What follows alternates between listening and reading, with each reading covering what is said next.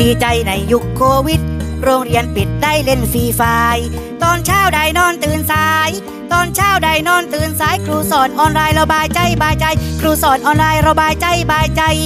ยามว่างเราเล่น TikTok แล้วโกหกว่าเรียนออนไลน์ใบงานให้แม่ทำให้